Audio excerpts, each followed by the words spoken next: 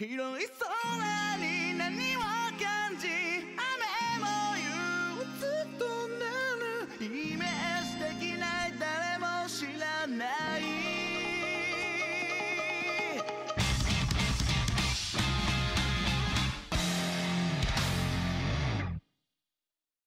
白子さんお疲れ様です。お疲れ様です。今日ちょっと涼しいですね。今日なんかいつもより涼しいですね。涼しいですね。はい。昨日までめちゃくちゃ暑かったのに。本当よ、はい。今までもう1週間以上2週間近くの遠征から今帰ってきたところなんですけどはい。帰ってきたら涼しいっていう。むちゃくちゃやな。本当に。はい。で今回なんですけども、非常にちょっと言いにくいんですが、はい。後撮りになります。後撮り？ええ。え後撮りのやつとかあった？オープニングの後撮りです。オープニングの後撮り。撮り直しってこと、撮り直しうん。あじゃあなんか新たな何かがそうです。発見されたということですか？はい。えまず場所なんですけれども、こちらがラブホに囲まれた事故物件。うーわ。えあそこめちゃくちゃ怖かったよもうすでに。はい。えあ新たになんかああるってこと？そうなんですよ。あそこ白子さんたまにこう気づいてる時と気づいてない時があったんですけど、あのこれもうちょっと映像を見ていただいたら分かるんですけどめちゃくちゃ怖いです一応いわくだけご説明しておきますか。そう,、俺らしか知らないもんね。そうですね。はい。で一応こちらの事故物件のいわくなんですけれども、どうやら結構建物が横に並んで建てられているうん場所らしいんですよ。そうだねそうだね。でオーナー夫妻の建物がそのホテルとホテルの間の真ん中ら辺にそうなんかねイメージ的にはもう廃集落なんですよね。廃集落みたいな街の一角に昔もう本当に古いラブホテルみたいなのがボンボンボンって並んでる間にその一軒家があるみたいなそういう場所だったよね、うん。でなんか水害にあったっぽくて、うん。その建物の損壊が進んでる部分もあったんですけどそれの話で合ってますよね。はい合ってます。でこのオーナー夫妻なんですけど最終的には亡くなってしまうんですけど、ただこの亡くなる前にですね幽霊が見える幽霊が見えると周りの人に言っていたみたいなんですよ。うんそうだったね。はい。その上で亡くなって今では心霊スポットになったっていう曰くになっております、はい。もうなんかむ古き良き心霊スポットっていうその見た目のイメージからは、まあ、想像もできないぐらい怖いよねあれ。はい、で今回は白子さんにもう一度映像を見ていただいて、その上で評価点を改めていただきたいなと思っております 2回ね、はい。2回怖い思いをしていただいてってことですね。そうです。なんか今日あれだね。いつもと違ってなんか普通に始まりそう。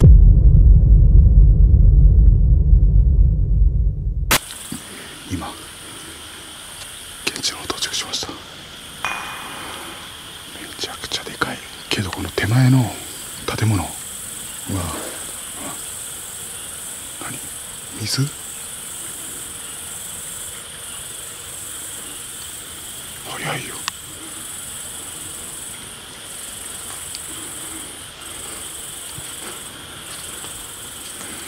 の建物はですねこれもうほとんど水没してて中のものは何も残ってないみたいです。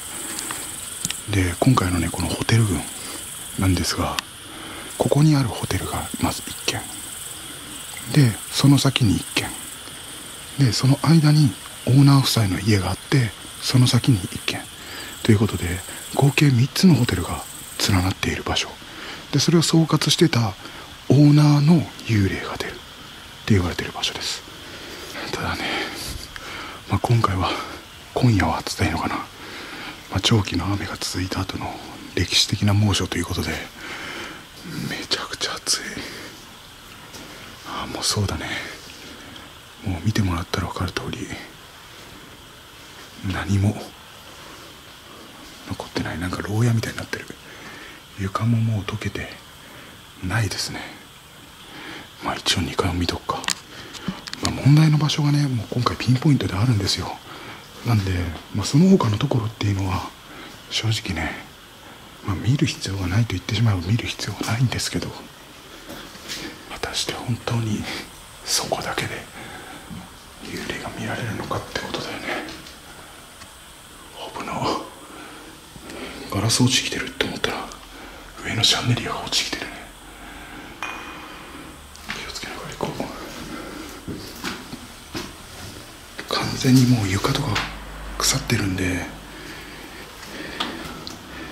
ある程度気をつけながらそして床がちょっとやばそうだったら2階は行かないにしましょう。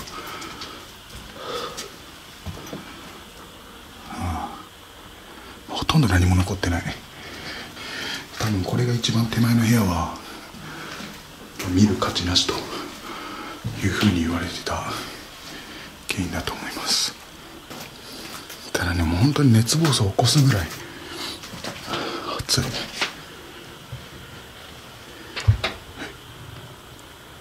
誰かいます？さっき聞こえた音。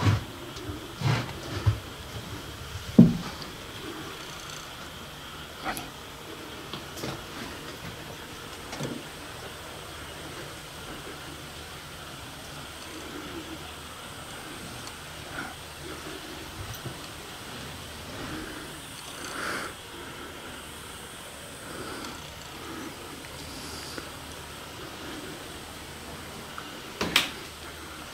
めっにコンコンみたいな音したよね。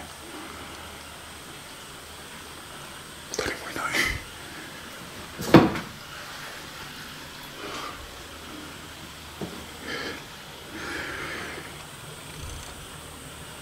えもう全体気持ち悪いんじゃないの？何もないからまだね大丈夫そうだけど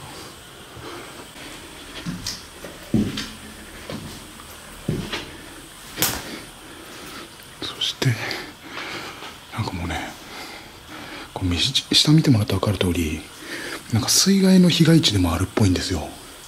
なんで、まあ、それによって、まあ、水害でね、まあ、足元が完全に崩されてこういう風にね瓦礫とかも流れ着いちゃってるんですね。この前の道がもう川みたいになってで上の方から土砂が流れてきてそれによってね崩されてるみたいなとこがあるらしい。だから上に行けば行くほど建物の残りがいいという情報でしたよね。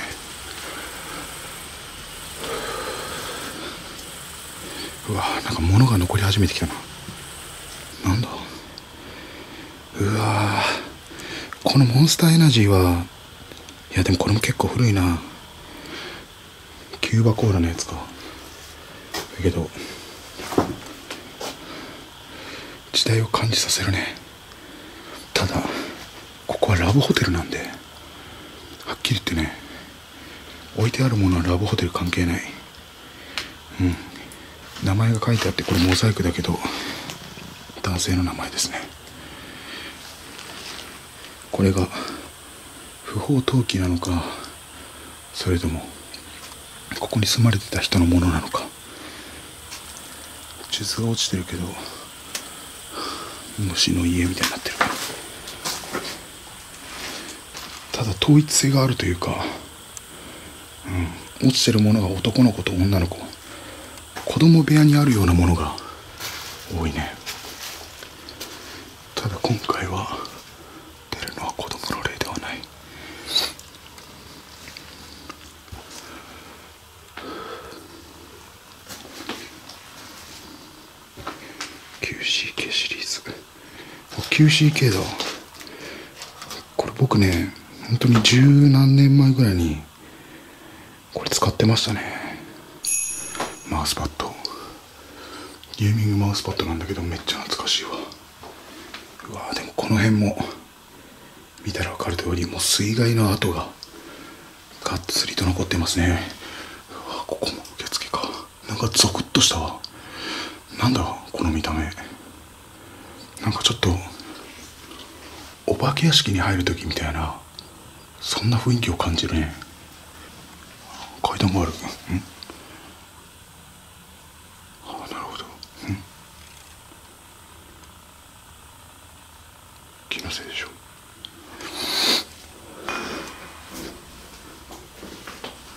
うん多分受付だと思うけどテーブルとしては少しちょっとでかすぎるかなっていうのとどこに人が立つんだっていうのがちょっと気になりますね灰皿これが2つ目じゃないでしょうこれ多分一つ目のつながつなぎだと思うんですよね。うん。よし。2階登ってみようか。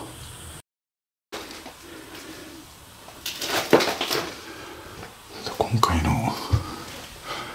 ラブホテルの先にある、まあ、いわば事故物件ですよね。その事故物件ではちょっと不思議な話がありまして、オーナーが亡くなったのが1回らしいんですよ。怖い。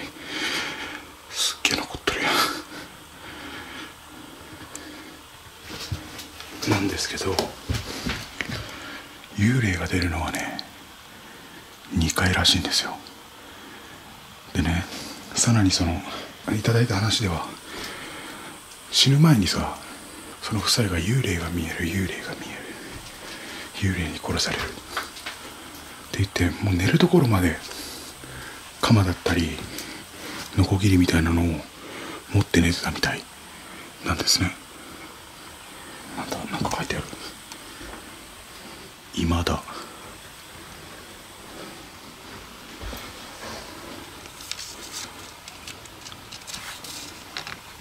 なんだこれ。変だな。お札とかではないはずだけど。こんなところにピン止めないよね。向きとしてはこうでしょ2つ目のピンがあるはずだけど。ないね。なんか意味があるのか。なのでその2階に見られる霊っていうのはオーナー夫妻じゃなくてね。オーナー夫妻を死に追いやった霊とかだったら嫌だなと思っています。風呂でしょう多分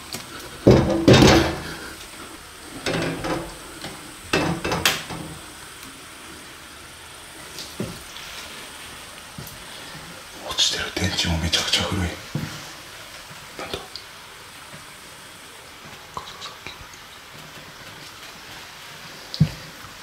川のとかザワと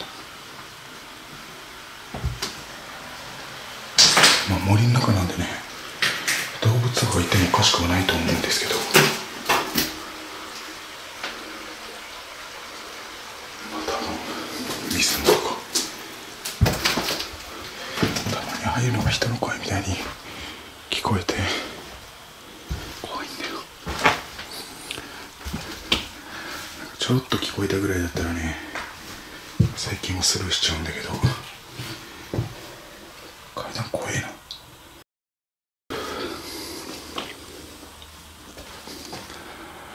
もう一つの部屋を見てみようか作りは似てる階段は大丈夫そう。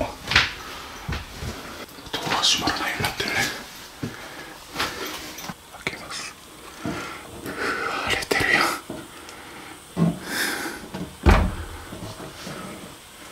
作りは一緒上のライトは誰かが外したか落ちてきてて花が増加ですね残ってる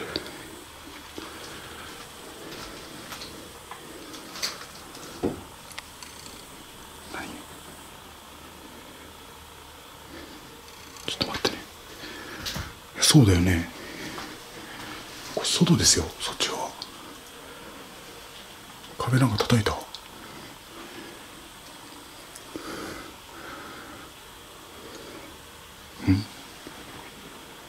なんか息遣いみたいなのしなかったみたい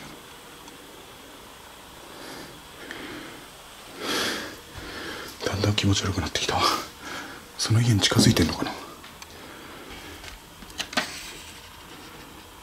ああ天使さんからの直筆の手紙ですね。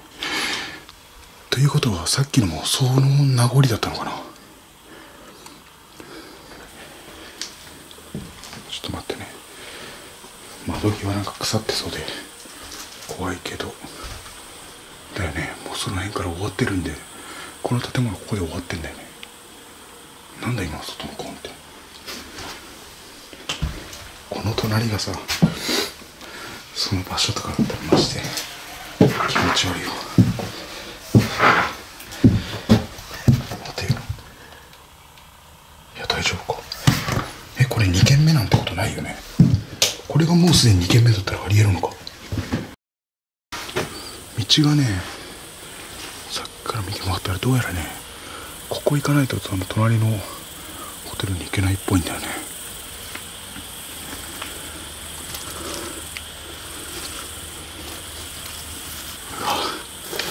なんか窓から入るようなやつがあるけど入り口内的な？そういうやつ部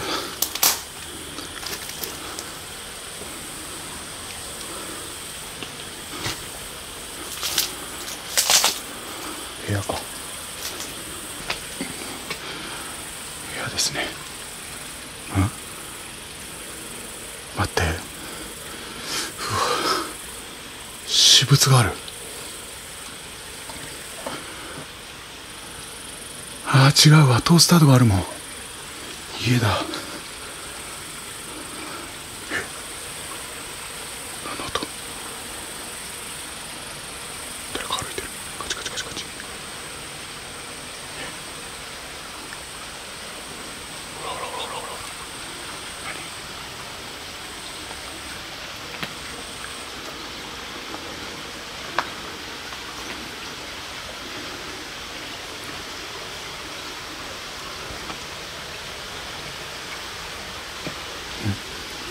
待ってなんか山の上になんかある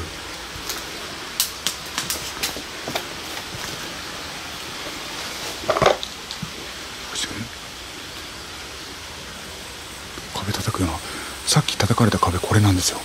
ゴンって。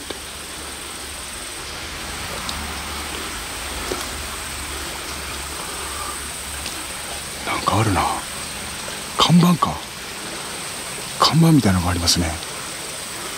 でこれは実はですねこのん？誰か歩いてる。誰かいますえう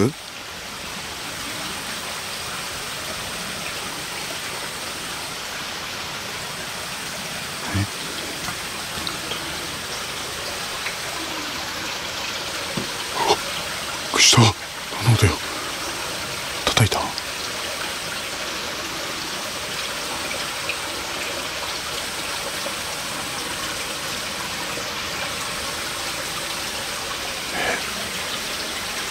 が覗いてたりしないよねおお雲か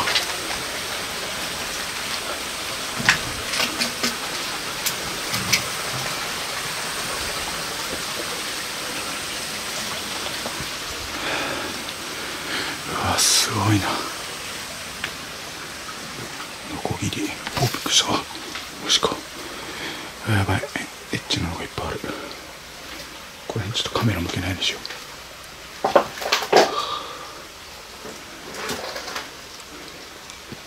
生活品ですね家でも間違いなさそう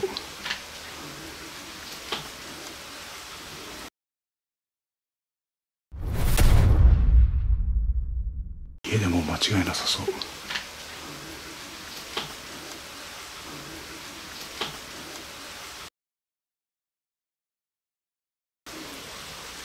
わ2階あるやんこれ何年だ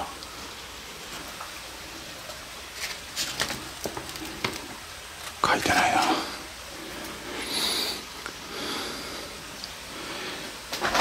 何年まで住まれてたのかわからないぐらいの小張り具合だけど。ん。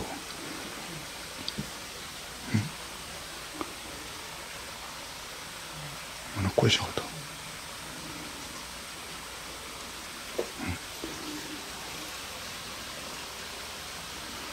どこから？響いてわかんないけど。殺すぞいたずらでしょ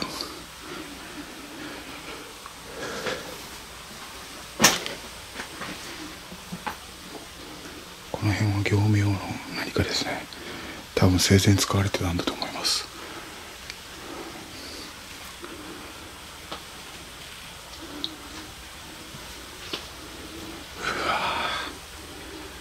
床やばいな。向こうから見た感じも確かに床やばそうだなって思ったんだよね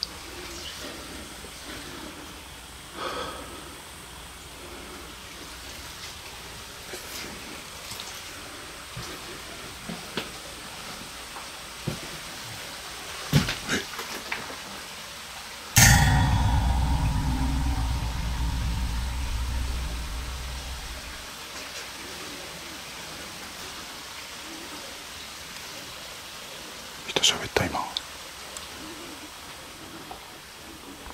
おちょっと待って危ないやばい床がもう終わってるわ。ちょっと待ってね。これでも危険だからここで怪我したら撮影終わっちゃう。あ介護用の手すりみたいなのあるわ。あじゃあ最後までおじいさんおばあさん住まれてたらこれ情報は間違いないですね。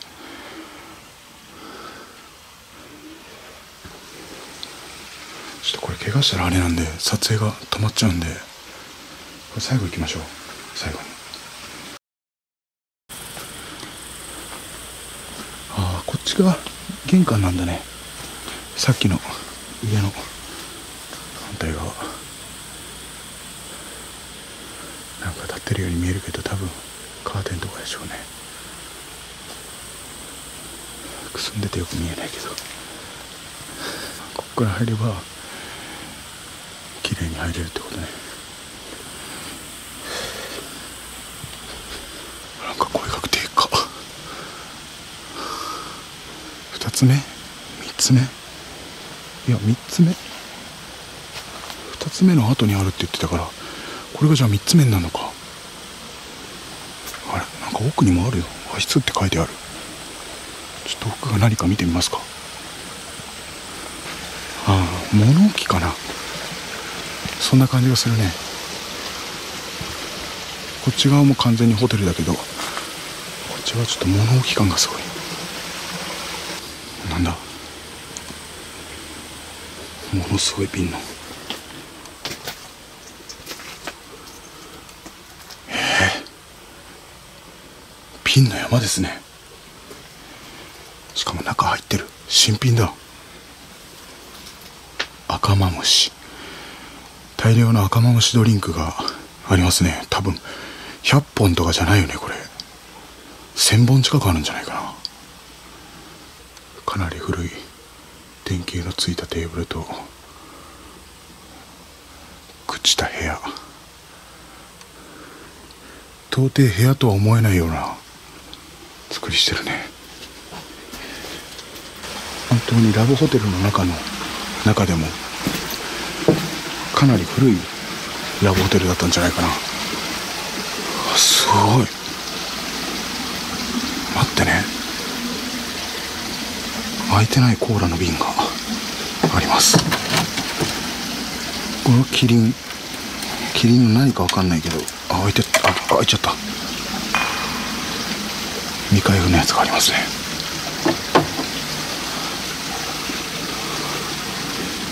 開けちゃったけど。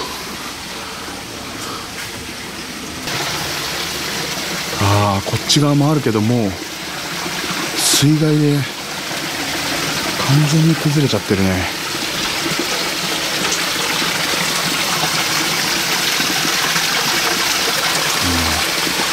この川から流れてきた水をこの多分溝だけでどうにかしようと思ったんだけどあ見たら分かる通り木とかがなぎ倒されながら流れてきてるんで大雨の時とかに一気に行ったんだろうねそしたらこのでかいホテル入ってみましょうか。こんな山奥と人里離れたところにねこんなにでかい廃墟群って言ったらいいのかな。1軒や2軒じゃない廃墟群が立ち並んでる場所っていうのも珍しいよね。あなんか比較的他の部屋に比べて新しそうな気がする。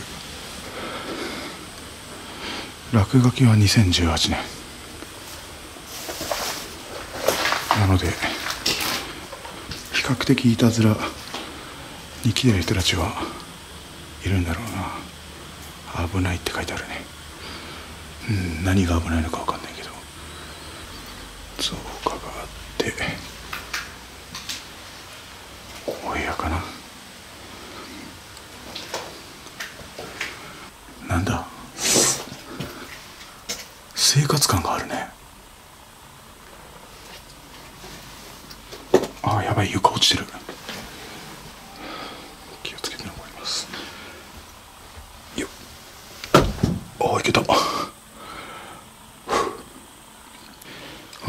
っがちょっと他のところとは違うものがありますね。2000年のジャイアンツの袋ですね。なんでここに住んでた人はおそらく2000年ぐらいかな。明らかにラブホテルの部屋なんですけど落ちてるものがさ結構私物みたいなのがある。もしかしたらこの隣の持ち主の方がここに住まわれて、まあ、部屋として使ってたのかもしれないけど家があるのに、まあ、廃業したホテルの中に入って何するんだろうっていうのはあるよね。でもこんな感じのなぜバカンスみたいな椅子とかを用意してここが閉店した後ここでゆっくり時間を潰してたとかそういった想像もできるけどもともと何て言うの幽霊に殺されるとか言ってる人がわざわざここにいる。なぜかって考えたら家にいるのが怖いからっていうふうに考えてしまうんだよね。なんだ映った今。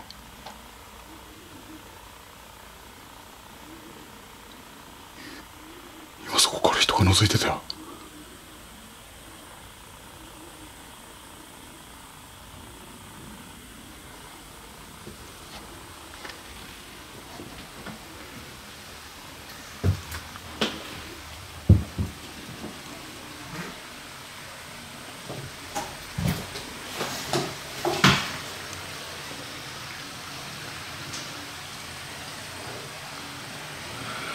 うわ気のせいか鏡のせいかな。めっちゃ怖かった今。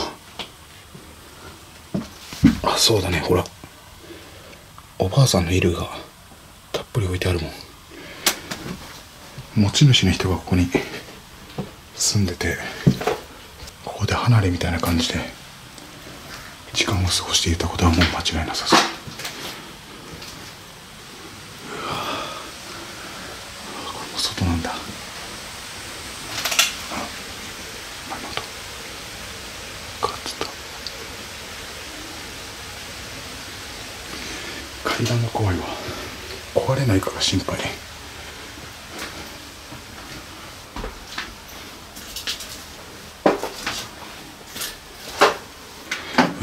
うわ。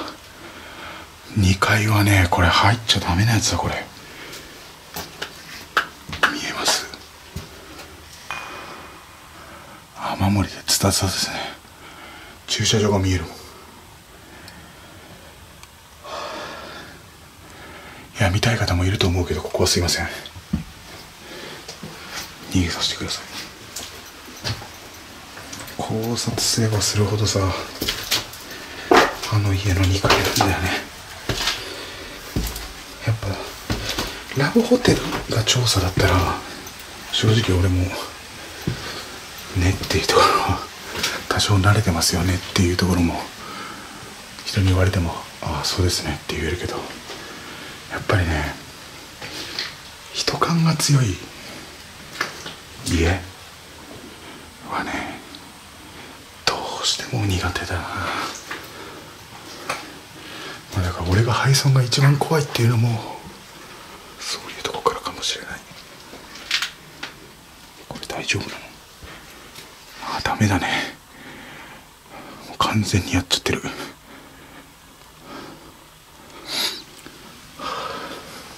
うお時間来たなしかないね。ちょっと待ってね。最初のホテルのとこにね荷物置いてってるんですよ。それ持ってそれから事故物件の方を迎えたいと思います怖い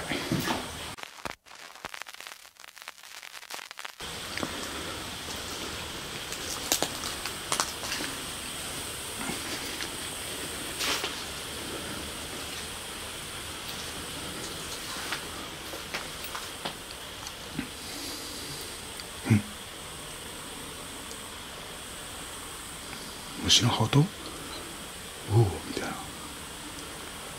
声じゃなかったこ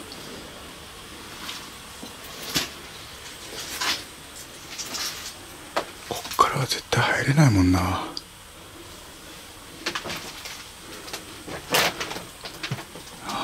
様のお酒入れるようなやつ神棚はでも玄関に置いたりしないでしょ。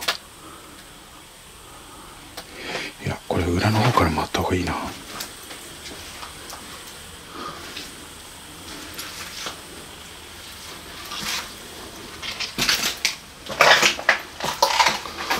れ先のとこ行ける後ろを振り向いたら殺す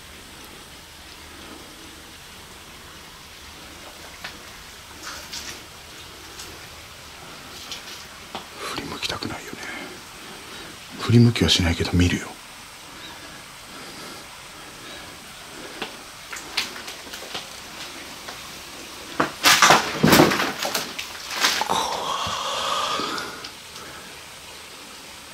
いけるかなまず2階にいけるんかなこれ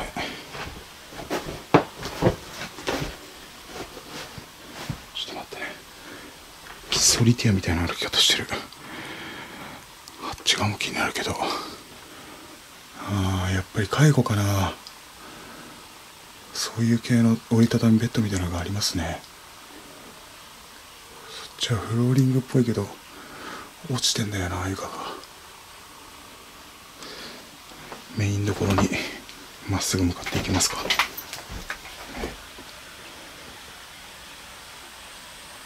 誰かいますま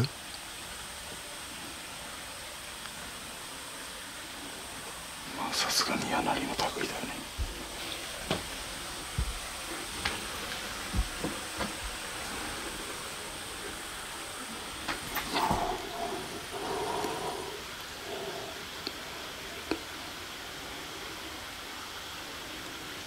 今人みたいな声じゃなかった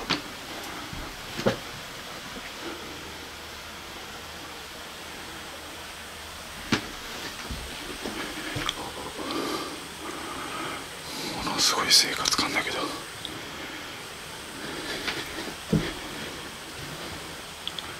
崩れてはなさそう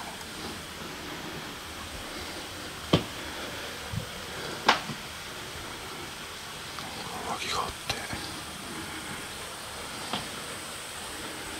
うわ山蔵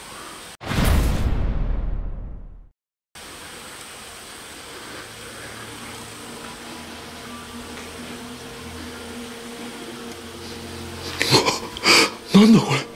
え？人の頭？え？何？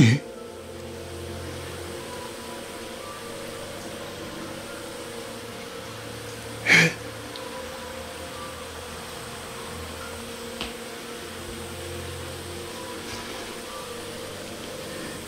いや毛だ毛だちょっと待ってうわこっち側にもちょっと何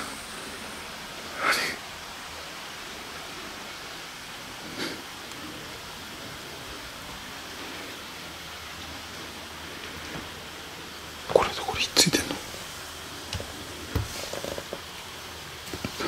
気持ち悪い触りたくない。触ったけど。びっくり。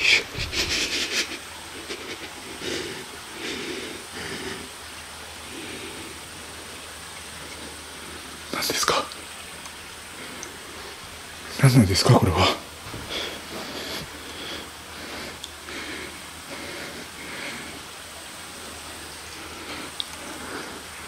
ただ家の中に物はほとんど残されてなくてきっちり片付けられています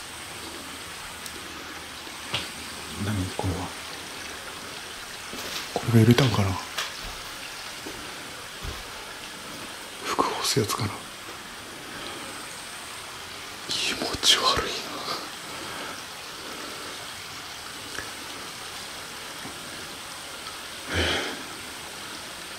トイレ動かしてみようか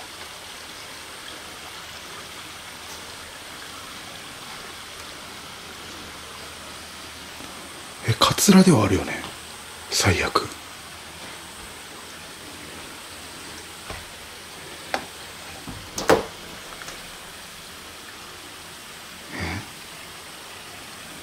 いや。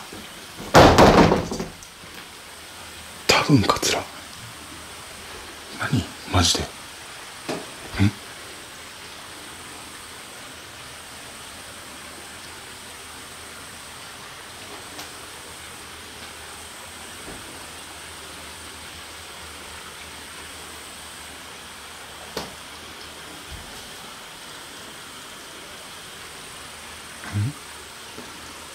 なんか入れてる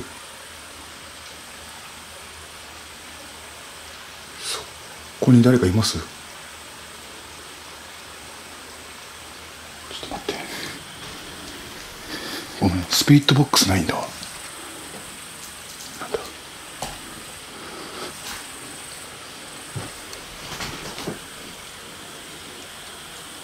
なんで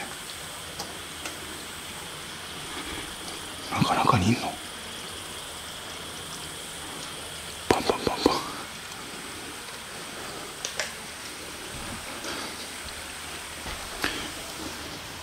こんばんは。今その子の中に入ったら話すことができます。今その辺にいらっしゃったりします？まだ入れてるんですけど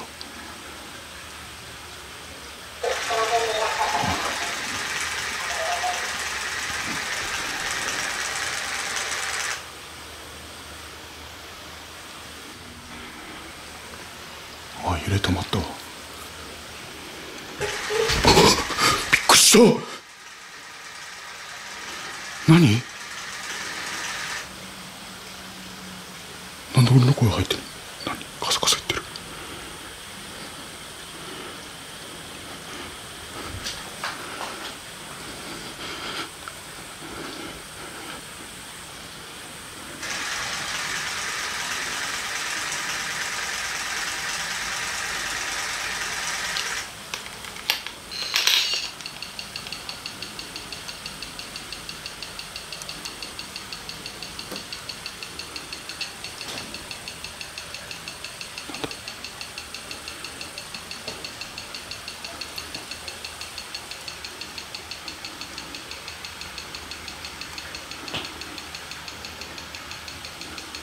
揺れてないもんね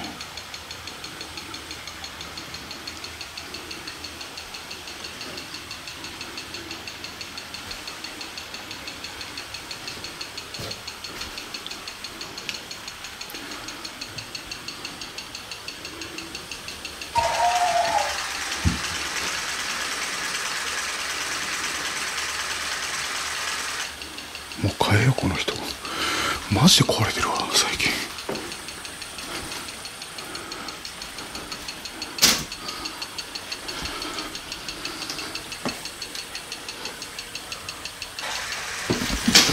もうやめてよ。本当に怖いこの人。マジで。マジで。反応した今。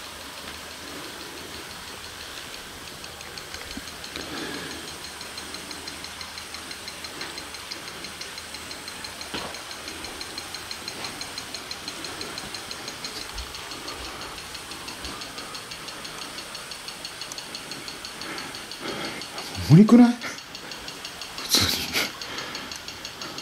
誰かいません？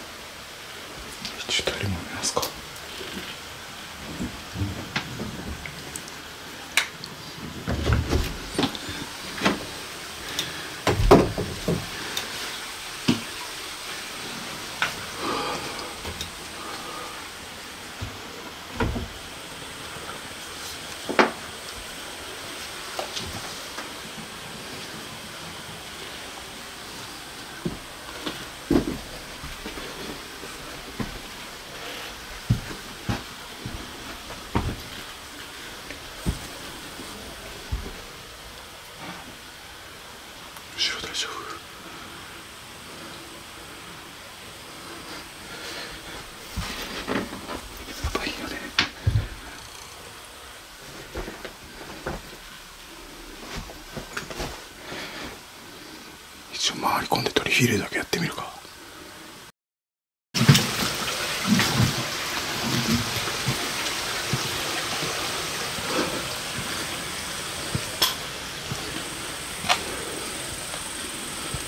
いやそこから入り込むのはねちょっと気が引けるんでこの前で2回絶対おるだろあれニュースター平成20年度。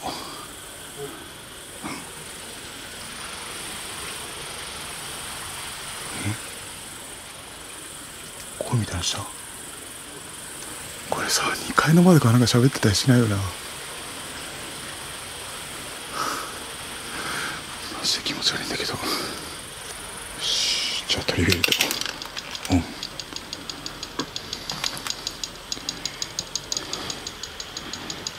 んマジで頼むよ。俺の声を拾って。豆柴君。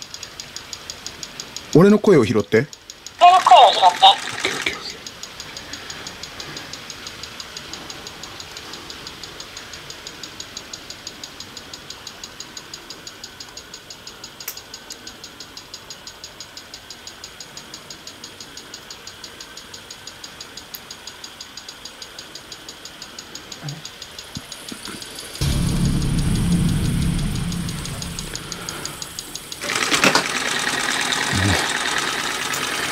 トリフィールドの音っすね多分うんカチカチいって。る相性悪いな。い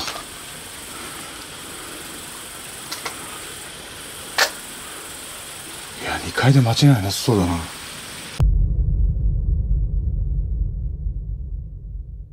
いかがっすか？気持ち悪いね。やばいっすよね。や やばいね。あれ編集で気づいたの？はい。なんか言ってるやんと思って。いや怖いねあれ、はなんか普通になんかこうもわって感じの声だもんねなんかね、はい。もわって。なんかこう水とかだったらさおんおんボンボンボンボンボンボンボンボンみたいな音が入ったりするのはまあ当然なんだけどなんかそれとは違って本当に人っぽいというかあそこになんか人がいるんじゃないかって思ってしまうようななんかそんな感じのあれだったね。はい。全体的に見てね。塩さんはどういうふうに思ってるのか分かんないけど、確かもともとのそのエンディングでは僕あの3.8つけてたはずなんですよ。うんうんうん。なんですけどあれ聞くとねなんかちょっと幽霊っていうところを疑ってしまうよね。そういうのがいるんじゃないかなって。もうここには確実にいるよって言ってるんですよ。実際そのエンディングの中でも。もともとのエンディングね、言ってるんですけどよりそれが強くなったというか、まあ、そういうのがねまた今後もね起きていくようであれば僕自身はそう幽霊に対してその懐疑的な意見を持ってますけれども幽霊がいるんじゃないかっていう気持ちを持ちながらそういう場所に行くようになってしまうのかなっていうふうな、まあ、そういった体験をしたっていうような話でした。まあ、今回の評価はね、まあ、結局そのチャン君の声を聞いたから大幅に変わるってこと多分ないとは思うけどより気持ち悪いなっていうふうに思ったんでね、まあ、今回は。4.0白金お願いします。